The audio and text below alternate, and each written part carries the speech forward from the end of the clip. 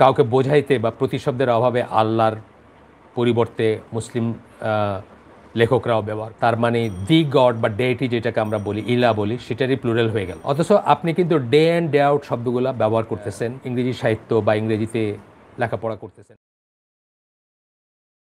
একজন মুসলিম যখন গড শব্দটা পড়বে, ব্যবহার করবে এবং স্বাভাবিকই মনে করবে, তখন আসলে তার অজান্তেই কতগুলো ব্যাপার ঘটে যাচ্ছে, যেটা সে কখনো চিন্তা করে দেখে না। গড শব্দটা থেকে ষাটটা শব্দ বের হয়ে আসে।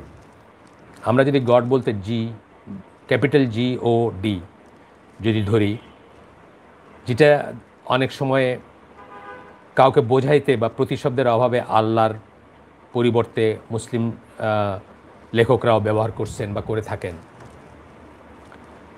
সেই বড় ক্যাপিটাল জি দিয়ে যে গড হয়, সেটা থেকে ষাটটা শব্দ বের হয়ে আসে। ক্যাপিটাল জি দিয়ে গডস, ইংরেজি সাহিত্যে পাবে আপনি, পাবেন আপনি।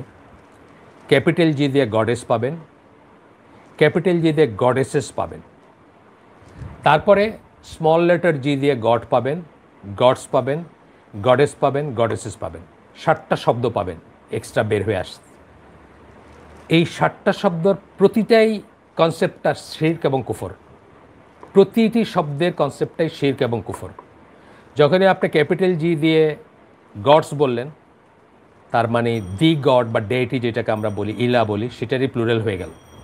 এটা শির্ক এবং কুফর দুটাই আর বাকি ছটার ব্যাপারে একই কথা। স্ত্রীলিঙ্গ আছে, স্ত্রীলিঙ্গের আবার প্লুরাল আছে, আবার ডেমিগড পেটিগড আছে ছোট জি দিয়ে যখন লিখতেছেন, প্রত্যেকটা কুফর এবং শির্ক, অথচ আপনি কিন্তু ডে অ্যান্ড ডে আউট শব্দগুলো ব্যবহার করতেছেন যখন আপনি ইংরেজিতে ইংরেজি সাহিত্য বা ইংরেজিতে লেখাপড়া করতেছেন বা ইংরেজিতে এক্সপ্রেশনে যাচ্ছেন বা উপন্যাস পড়তেছেন বা একটা লেখা লিখতেছেন অথবা যে কোনো কিছুতে মানে অহরহ আসতেছে আপনার। এইভাবেই কি হচ্ছে একটা শির্ক এবং কুফর আপনার ডাল ভাত হয়ে যাচ্ছে।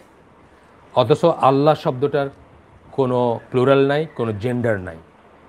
এবং আমরা যদি এটাকে আল্লাহই বলতাম সবসময় আমাদের মাথায়, কখনোই এই সমস্ত কল্পনাও আসতো কল্পনায় আসতো না এইসব কথাবার্তাগুলো।